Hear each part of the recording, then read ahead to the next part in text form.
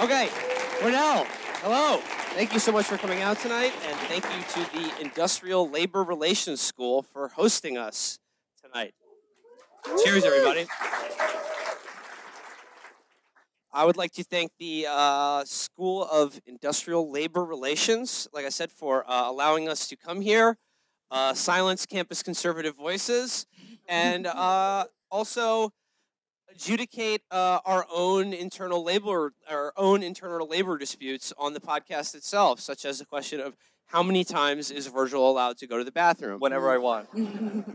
I would say i my opening position in this negotiation is that we treat you like a uh, fulfill, uh, someone working at an Amazon fulfillment center. You get 30 seconds to do your business. That's not enough time. That's not. You, you have to. There's a lot of things you do in there. You've got to, you, know, look at yourself in the mirror, wash your hands if you feel like it. Uh, sometimes I just want to be alone. ILR school, your work is cut out for you. We'll be negotiating all night. Uh, in case you don't know already, this uh, event here at Cornell marks the triumphant return of Mr. Virgil Texas, like Wily Odysseus, home again to Ithaca, only to find all of you suitors here waiting to defile his beloved alma mater. He will string a bow and shoot an arrow through all of you, provided you line up precisely in like sort of in a straight line. I think we should I think we should be allowed to uh, make that happen. Uh, thank you guys all for coming out tonight. Um, question though, uh, did anyone? I know you're here to see us tonight, but did anyone here uh, see Ross Douthat last night? Crickets. Nobody. Did you know he was here? Because it did not seem well publicized, this event. I like I said, I think he was the youngest person in that room.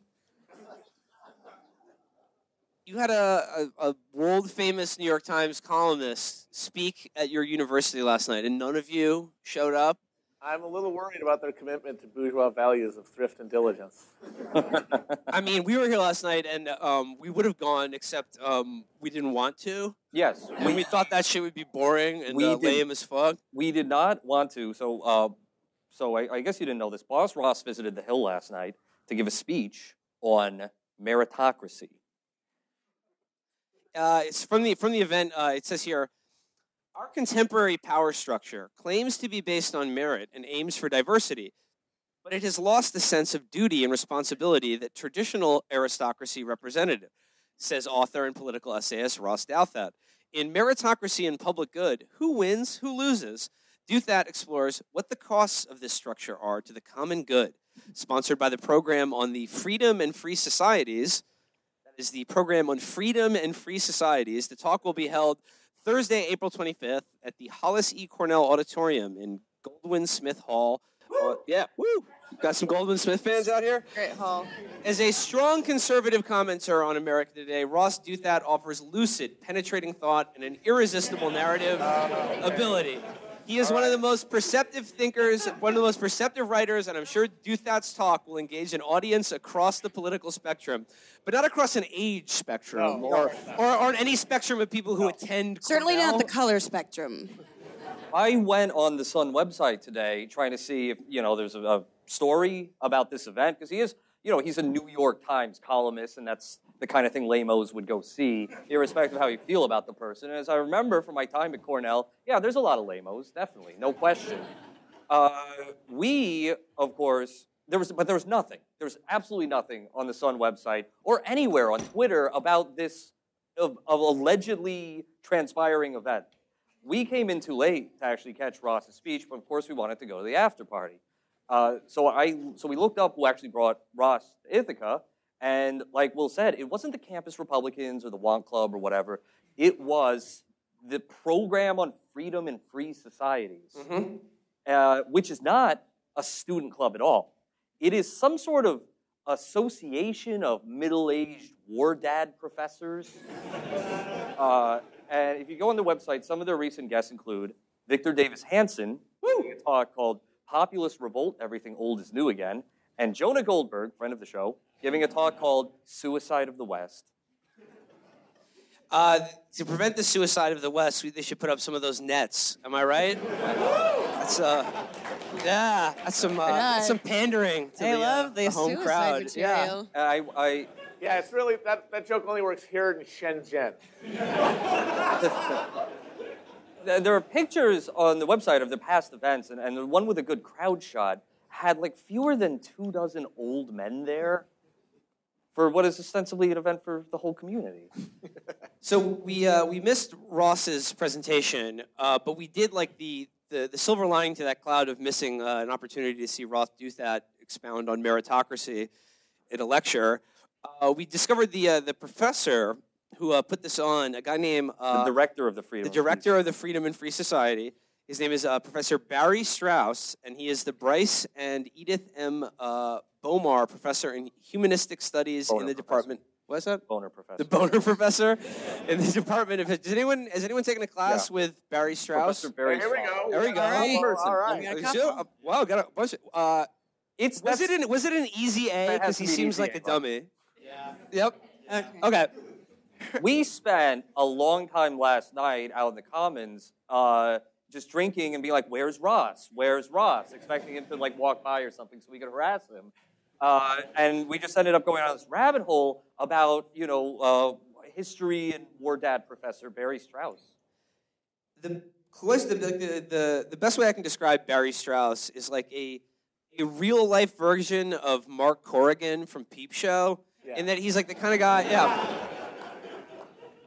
He's the kind of guy that uh, looks at history, or you know, uh, the, the great men and great leaders of history, from you know Tutankhamun to Alexander the Great to Xerxes, as basically the guys who have set down the roadmap and rules for success in the 21st century. So he's sort of like he has he has one trick, and that is to compare events from uh, classical antiquity to modern business and political leaders. Of course, it makes perfect sense. a little from his cv here are uh, some of his books the death of Caesar, the battle of salamis the naval encounter that saved greece and western civilization the spartacus war and Masters of Command, Alexander Hannibal Kaiser and the Genius of Leadership. His most recent book is Ten Kaisers, Roman Emperors, Wait, Justice the Are you, wait, are you wait? Oh, wait a second. Oh, stop. Are you you're saying Kaiser? I thought you, it's Caesar. No, it's Kaiser. Yeah, but you were hold on a minute. You were saying Caesar all yesterday. Okay. No, I You wasn't. just pulled this out of your Okay. ass. I was talking about the salad. You're just showing off for the people. I used to actually study Latin at Cornell. I do like the idea that yeah that you got a lot to learn from Hannibal about your modern office environments. Like what your uh, small shipping company needs: war elephants. Well, uh, famously on Peep Show, uh, Mark writes a book which I think fits very well into this camp. Yes, Business Secrets of the Pharaohs. that seems to be mostly what this guy is Yeah. about, and, and he's a, a tenured professor at uh, He's Ivy a, League. yeah, a full pro, a full professor, and uh, we went on his blog and we, we found he's done like you know recent interviews from his book, and every single news article or interview he does, or any crap that he's quoted in, has a headline like this: "What CEOs can learn from Roman emperors?" and you, I mean, all right, already that's just like this. We're all gonna die, and this is the worst way you can spend your time alive. But maybe I could think maybe that could be erudite in some way. Like that's theoretically possible, right? I If you know a lot. Uh, here's the kind of crap he says. Uh, here's an interview we did with Wharton. Uh, they asked, "What is it about these leaders that still resonates today?" Strauss. For one thing, they are founders. Mark Zuckerberg is really fascinated with Augustus because Augustus was a founder of something great, an empire that lasted for centuries. they both did a thing, is the lesson. I, I just I, I I hope that at least one company has hired him as a consultant or something, Absolutely. and they're sitting around the table like, all right, what are we going to do to you know boost profits in the third quarter? And he just goes, may I suggest a hoplite phalanx? Here's another one. I searched his name on Twitter and I found some um, uh, rare Barry Strauss memes. Uh, here's one. It's, it's, it's, let's get those rare berries. it's, it's, it's the shit. It's like Facebook inspirational quote shit. That's like a stock photo of a statue of a man on a horse with some text overlaid. And here's the quote. It's uh, Hannibal was both manager and leader, applying cunning, ingenuity, and fortitude. And Master of Strategic Surprise, Barry Strauss from Masters of Command. he did a thing. He did a thing. I think he's trying to pivot to be like a Tony Robbins style figure, you know, and do like big, like high production talks to like, I don't know, I uh, think, I think so too. Gerber.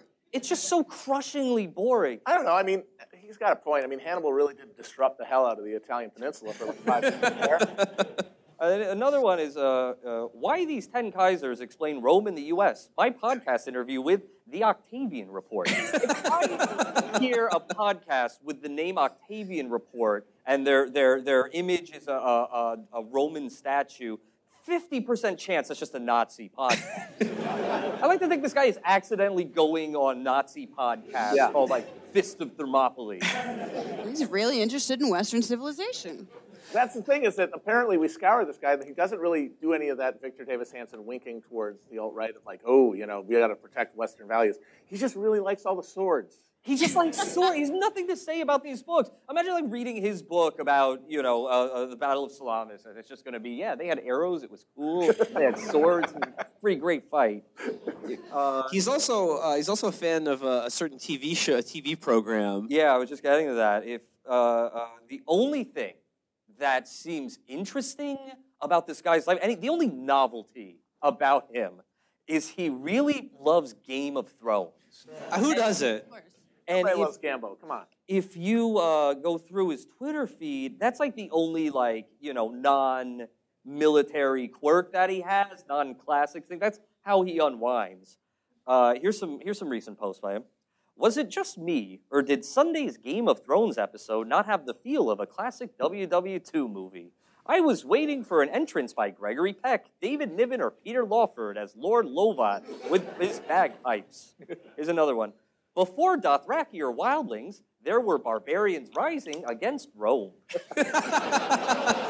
So, I uh, It's I'm- I'm- almost like they were inspired by them in the prison. That's what they're fucking referencing. Uh, another, another one.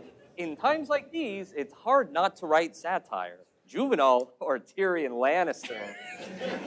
Uh, Tyrion Lannister does not write any satire. Uh, He does not write anything to my knowledge. He's not an author. Uh, it was gratifying to hear from uh, people who've taken his classes that it, it is an easy A because, like, for your final paper, we could write them for you right now. So uh, here we go. Uh, Modern Cincinnatus, the Elon Musk story. Just take one thing from the past and combine it with one thing from the present. Boom, done.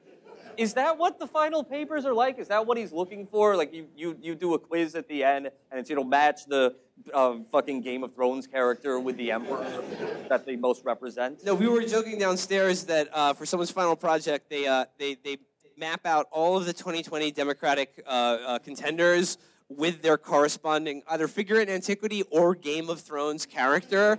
And then he sees it and like a single tear goes down his cheek. He's like, God, it's brilliant. And then, and then he kills you and takes credit for your work. Like he's like Sal- It's- Salieri to your young Mozart. It's too good. It's too good. Eric Swalwell is Flavian. He's just, he's just weeping, going like, my God, he's connected Game of Thrones and Lord of the Rings to the Battle of Teutoburg Forest. There it is. There you have it, Professor Corrigan. yeah, you guys all need to take a class. Definitely. I want to take his class. Because I do want to know which Roman emperor I am. And presumably there's a test that he gives everyone at the beginning. It's a BuzzFeed It's like, quiz, yeah. uh, you are such a Domitian. He is, he is pitching Roman emperors as astrology for men.